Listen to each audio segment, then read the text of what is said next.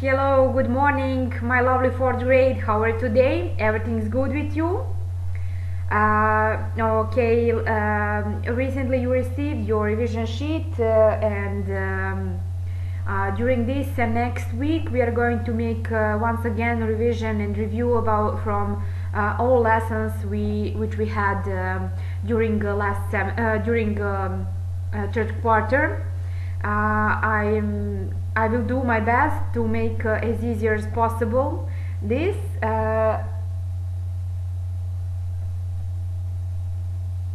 and um, we are going to start with uh, lesson number one chapter 8 early roman republic and then we are going to continue with the roman empire what is happening there to make revision uh, about uh, all uh, the most important things from these lessons okay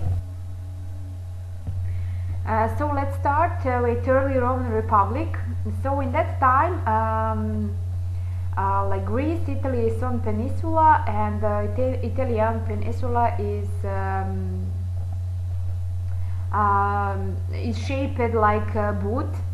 Uh, also, like Greece, Italy has many mountains. Unlike Greece, uh, Italy, um, however, Italy has two large rivers: the Po River uh, in the north, and the Tiber uh, River uh, is in the center of Italy also has much more land than can be used for farming than Greece. Uh, and in ancient time, uh, different people settled on and around the Italian peninsula. So, um,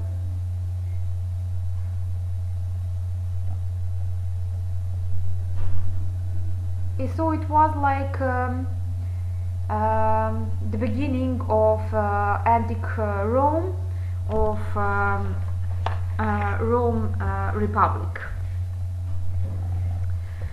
So how, how exactly early Roman Republic it's, um, it began?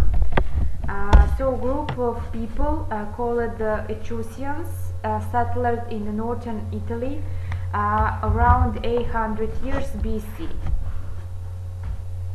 no one knows exactly where they came from, uh, they began to expand uh, their territory around 600 BC. The Etruscans conquered the Latins who live in the central part of the peninsula. So don't uh, forget that at uh, the beginning uh, there were Latin people. Uh, later came Etruscans and they conquered them and um, one Latin village was called Rome. The Etruscans um, uh, drained the marshes near Rome. Uh, this gives them more la land uh, where where they can build a city. And under Etruscan rule, Rome grew into a city. So don't forget how its uh, Rome uh, Republic actually began. Uh, the Etruscan king were often cruel. In 509 BC, the Romans rebelled uh, they sent the Etruscan king out of Rome uh, and uh, set up a new kind of government. So they call government republic. Remember this? That they call new government republic. It was similar kind of republic like in Athens because uh, the people could vote there. But Athens had uh, direct democracy and um, Rome uh, set up an indirect democracy. The people voted for leaders uh, and then leaders uh, voted on different uh, issues. The leaders were called representatives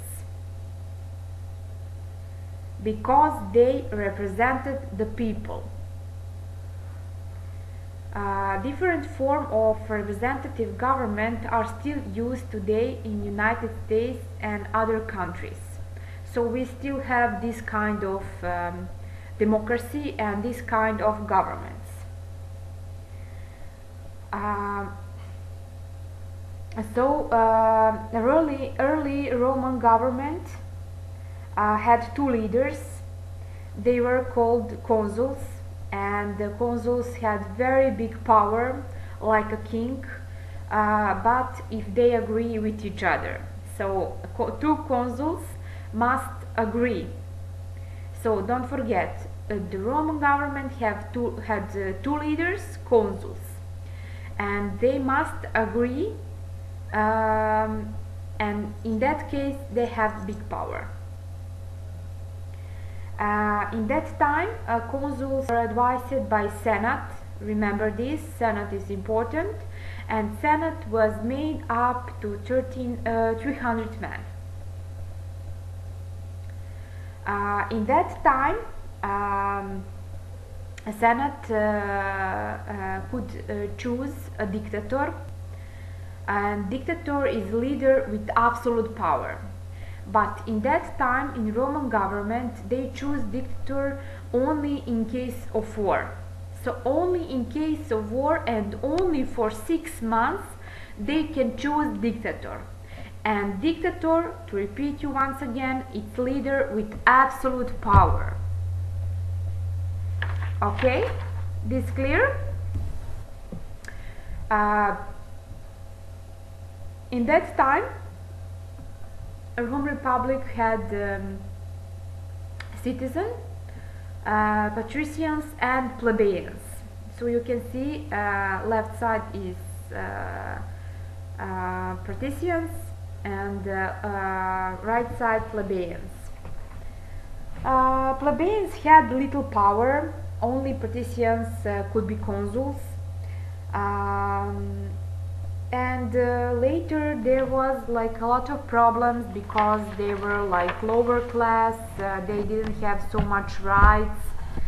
And um, uh, it was like um, um, very hard and very difficult in that time. And even marriage um, should not uh, take place between plebeians and patricians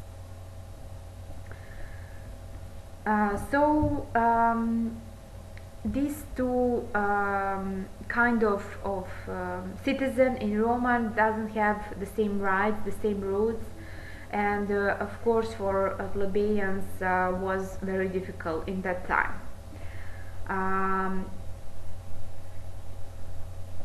The law was clear, plebeians um, and the patricians are not equal. So that was the law in Rome Republic in that moment.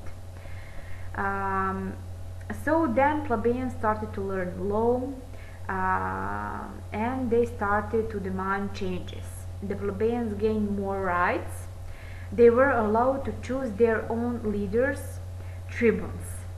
So they start to like to have better life in that moment.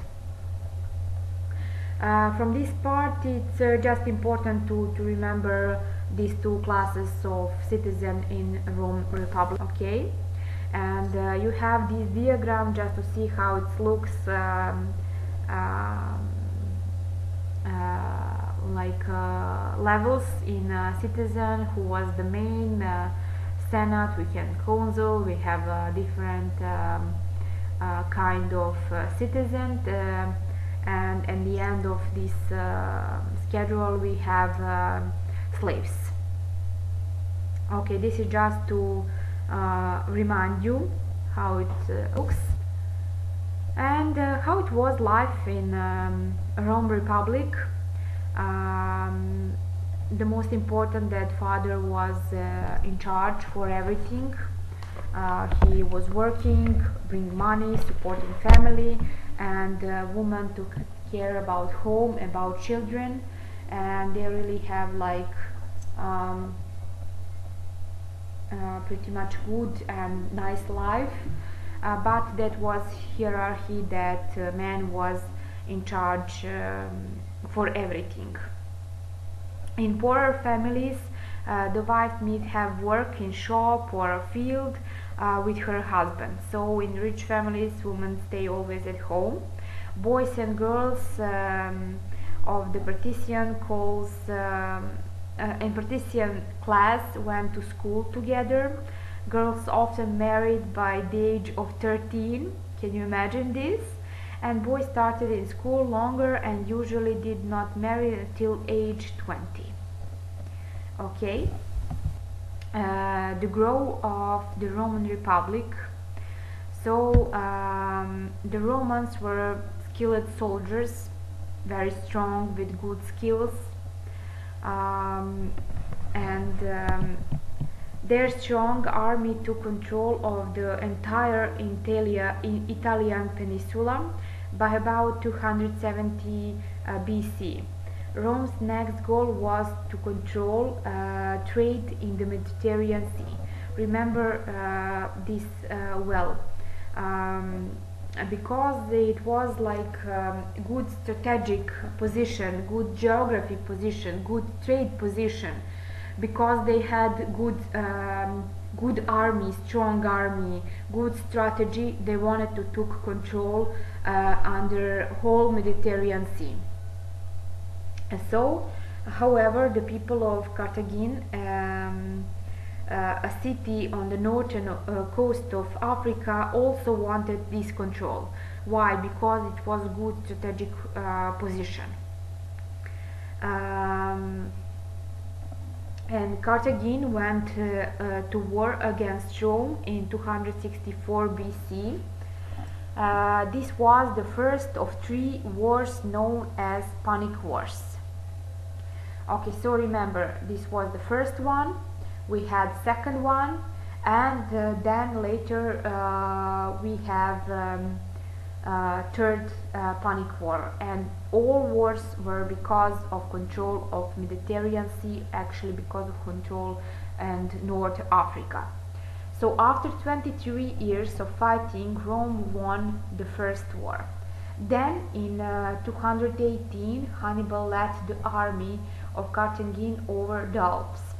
Hannibal was really powerful leader and his army was very strong. Can you imagine 23 years they had war and then again um, his army included elephants that each carried around 15 soldiers.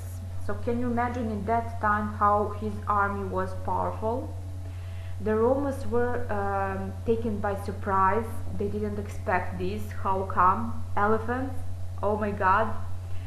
Um, and they didn't think uh, any army could get through the mountains. Then the Romans attacked Carthagene, forcing Hannibal to return home. Rome won Second Punic War in 202 BC.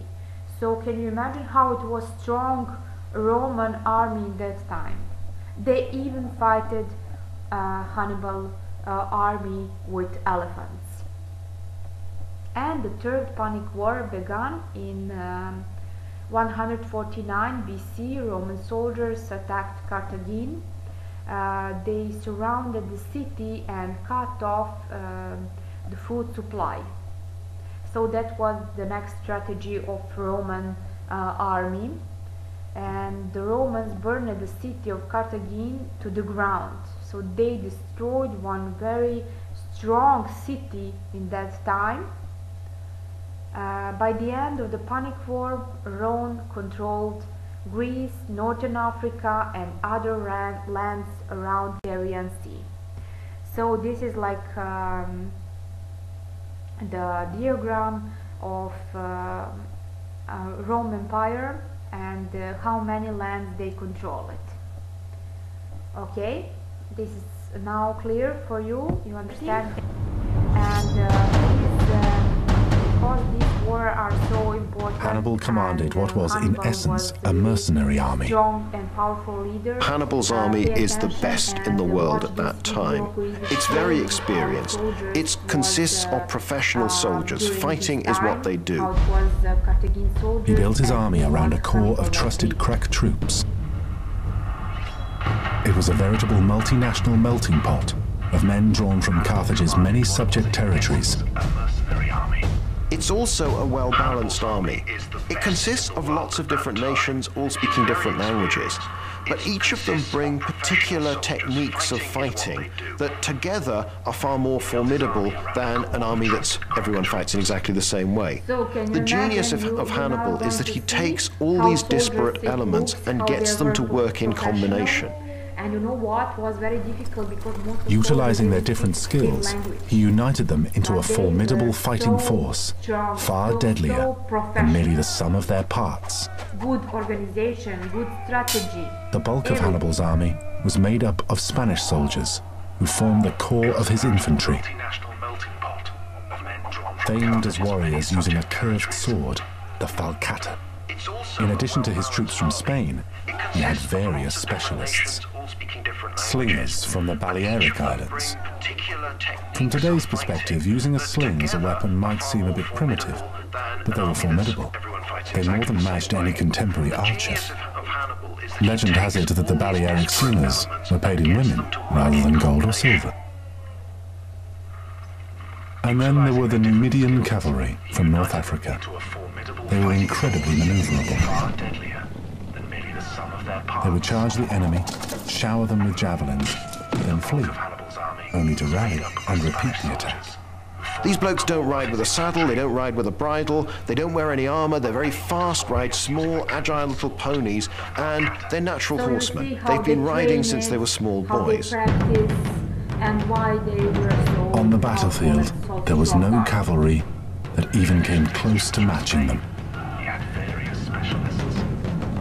Slingers from With his fast and flexible army, Hannibal was a formidable opponent by any standard.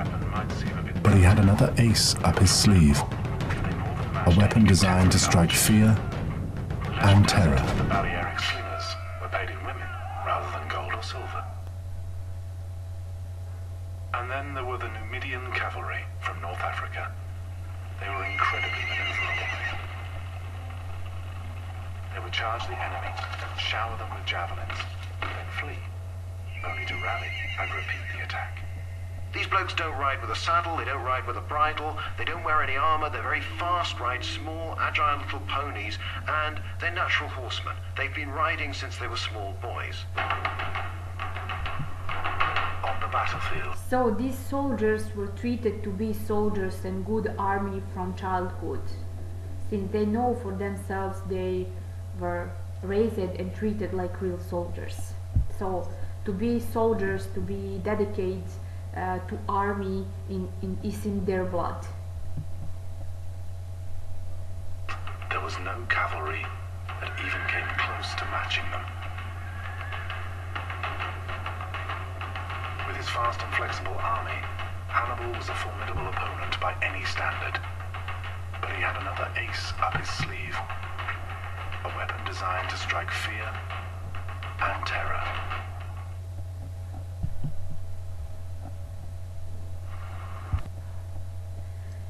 That will be all from this lesson, my lovely students. I wish you a great day. Take care about yourself. Don't forget about your lessons. Um, and I hope that we are going to see uh, next week. Have a nice day. Bye.